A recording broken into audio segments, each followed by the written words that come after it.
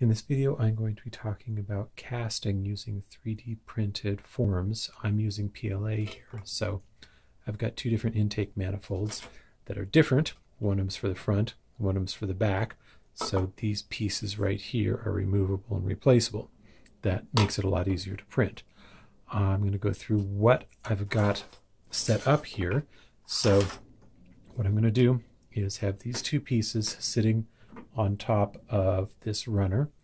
And then I'll have a vertical here somehow. And probably I want it about that high. I threw some stuff in here just to kind of give me some options. Then I'm going to have a couple of risers here to attach to these guys and then I'll have a pouring basin and then top of this thing that'll sit like this and that's where the aluminum will go in. So while I'm doing this, I'm going to start putting everything together. I can talk about why I made these choices. So these are PLA with 5% infill because I don't really feel like there's any use in wasting PLA.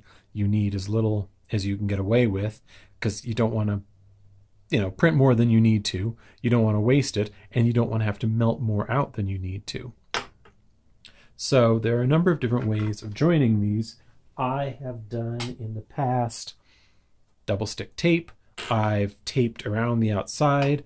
I've dipped these things in hot wax and then stuck them together. And that was really nice because it gave me a very nice external surface. So on things like this, sometimes in some of my previous ones, I had lots of lines from the Z layering I have chosen a different meshing strategy in these, so it seems to give me a whole lot less Z lines. I'm hoping it's going to work well. In this particular case, I am just going to use a soldering iron to weld these together. That's always worked well for me in the past, and I'm probably just going to sit here and talk to you guys while I go ahead and start doing my soldering. Because this really does work very quickly and pretty well. So I have got a couple of risers sitting on top of these pieces because what the risers do, they've got four different jobs. One, they let the air out when the aluminum comes in.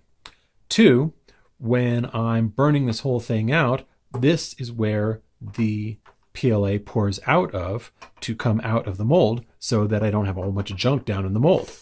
Um, well, okay, so I don't have any PLA caught in the mold. Three, I design this so that the aluminum goes in, comes through these guys, and then comes up through the molds themselves. There are a couple reasons for that, and I'm going to talk about that. But one of the reasons is so that any crap that you have down here in the mold, like if it's a green sand mold, you're going to have sand all over the place. And if it's in this case, an investment cast mold, maybe there's some little tiny bits of investment that have broken off. And I don't know, you know, just whatever. It'll get floated to the top of these. So that's really nice. Um, that way they're not down in your uh, in your casting. And the fourth reason, which is actually the most important reason, and dictates some of the design of this guy right here, is that this, sitting on top of this, as this fills up with aluminum, this is going to fill up with aluminum. This cools down and begins to freeze. This is still molten because this is larger in cross section than this. I designed it that way on purpose. So this guy is going to stay hot for longer than this guy is. So this guy stays hot, this guy cools down and sucks aluminum from this guy, pulls down into this. There are two different things going on here. One, you want the cross section to be wider than the cross section that's on here. Two, you want the height of this to be such that as the aluminum pulls down into this, it won't pull all the way down far enough so that you get a casting flaw in this guy. So you want this fairly high. Actually, you probably want it considerably higher than this. I threw this together. We're going to see how it works. Maybe it won't. I don't know. But that's what I'm going to try. So while I'm on talking about PLA, you can also use wax. There are a number of different places out there that sell wax filament. I have used wax filament. Wax filament does, in fact, work. I found it fairly difficult to get the wax to stick well to the bed, and I found it fairly difficult to get it to print without peeling and curling while it was peeling. I mean, while it was printing. So I kind of decided, you know, this sucks. It's easy enough to, I mean, PLA prints so well, right? So I just went ahead with PLA. And the PLA burns out so nicely that I didn't really feel like I needed to bother with the wax. You may be a bit different.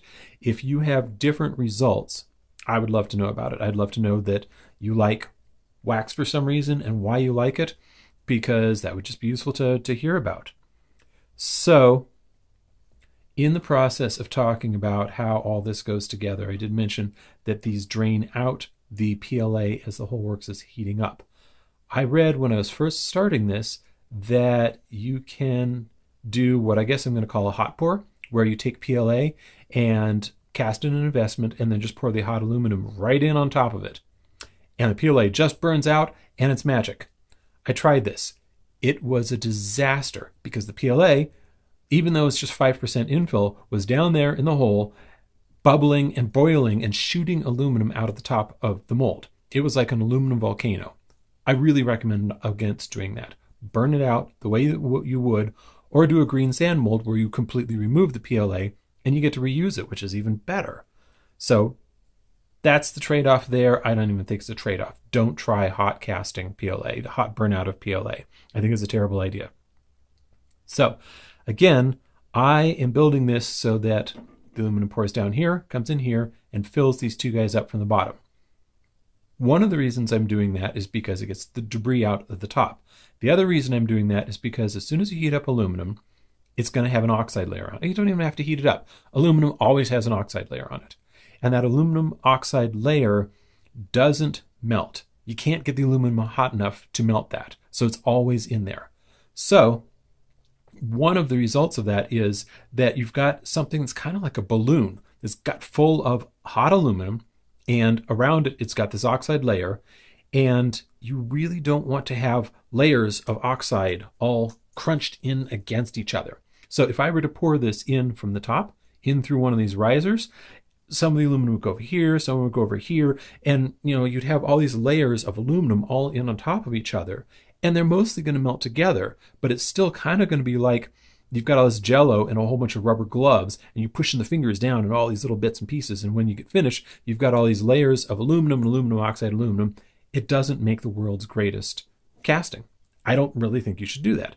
So, the way that I do this, which is the traditional way that people have always done, is I pour the aluminum in from the bottom. It rises up through the mold itself, and the result is it's almost like blowing a balloon full of aluminum up into this thing. So there's one continuous layer of aluminum throughout the entire casting.